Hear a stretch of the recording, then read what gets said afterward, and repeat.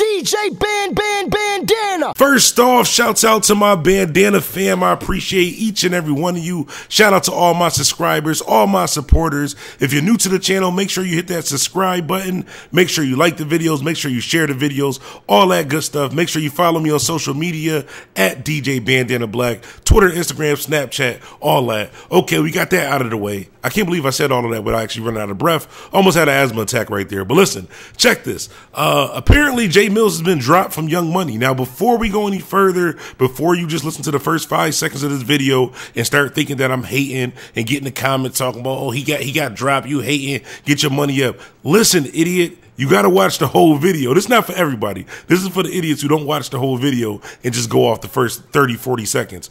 I'm not hating. I'm actually happy for Jae Millz. I wish Jae Millz would have done this years ago. I think Jae Millz' career would be a lot further if he would have done this years ago.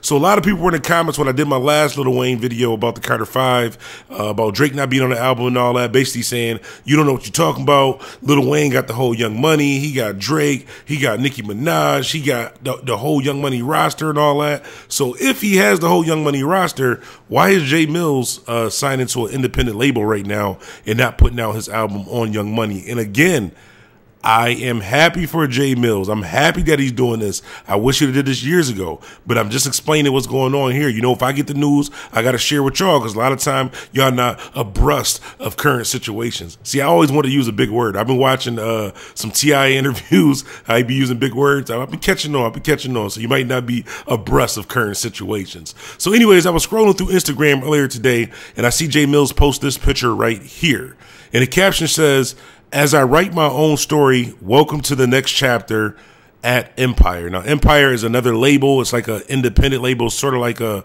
uh, like how Koch Records was. Um, so it, it is a label, but it's like a smaller independent type label. My bad if you hear the phone beeping right there. People text me all crazy. It's, I had a long day today. But anyways, uh, let me know how y'all feel about this. Are y'all happy for Jae Millz? Do you think Jae Millz still has a chance? Jae Millz is one of the hottest out uh, back when Wayne signed him. He was uh, one of the best battle rappers. He's one of the one of the best artists. Uh, period. And I think what happened with uh, Jae Millz signing to Lil Wayne was kind of the same story of Slaughterhouse signing to Eminem. I think Eminem had all great intentions when he signed Slaughterhouse, but Eminem being an artist and not really knowing what to do with those artists is basically like having a lot of money as an artist and you got your own label and you like another artist. You know what? Let me sign them to my label. I like them but you don't really have a plan or any way to help them. I think Little Wayne at the time when he signed Jae Millz, I think Little Wayne was watching Jae Millz battles, watching Jae Millz moving out in these streets. Little Wayne had a lot of money, had a label and all that, and he genuinely liked Jae Millz. He was like, let's bring him on the team, bring him the young money. Not really realizing that he may not have been the best fit for what they were going on, or not in hindsight, not realizing that they were going to have other artists on the label who may took off a little bit faster, a little bit bigger, which kind of put him on the back burner. Now, on the flip side of that, I think there are things that Jae Millz could have done to stay a little bit more uh, relevant, done things on his own to really kind of I mean, stay out there. Now we don't know the specifics of his contract. Maybe he couldn't. Maybe he signed like a, a, a triple 360 deal where he, he he just couldn't do anything and had to work on a label. I don't know, but I'm happy for Jae Millz. He was one of my uh, favorite battle rappers, and this is crazy too. Like going from Young Money and then now he's supposed to be having a, a battle rap against uh, is it K Shine? Yeah, I think it is K Shine. Uh, November third or November fourth. So I want to see that too. I don't know who's going who's going to win that too. Two young dudes from Harlem. I don't know who's going to win that one right there. I kind of rock with K Shine. Jae Millz but out of the picture for a while. Same thing with Cassidy coming back to the battle scene.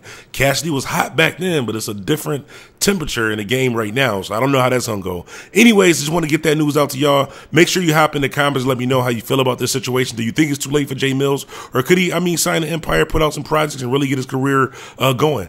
Honestly, I could say I don't know either way because I honestly, uh, and I said this in the video before, I thought it was over for Wayne. I thought I thought that because we waited so long for Carter Five, and there was so much legal troubles and everything going on that I thought it honestly was a wrap for Lil Wayne, and he proved me wrong. So I said from that point forward, I'm not going to doubt nobody. I'm just going to follow closely and see what's going on. I honestly hope. I think Jae Mill does deserve it because he stayed loyal. He was uh, signed to Young Money. He watched Drake take off. He watched Nicki Minaj take off. He watched Tyga get a couple albums out of there. He watched him sign Bow Wow. Like if you if you on Young Money and you you hot as Jae Millz and you see them sign Bow Wow, I'm not talking about little Bow Wow like when he was popular when he was a kid. I'm talking about like the 2015 to 2018 uh, Bow Wow. If you see that on the label, it's kind of like damn, like I don't know how I really feel. But anyways, before we end this video, I want y'all to check out my cousin Ransom page. Link will be in the description. This is just a, photocopy, uh, not a photocopy, but a screenshot of his page. So make sure you go check out my cousin page. They got some dope content on there. Links will be in the description if you want to follow his page. Like I said, they got some dope videos on there. Uh, I was checking things out. He got some new stuff that's coming out too. We're gonna keep y'all abreast on those current situations too. Anyways, remember life is what you make it, so make it as DJ Bandana Black. I'm out. DJ Ban Ban Bandana.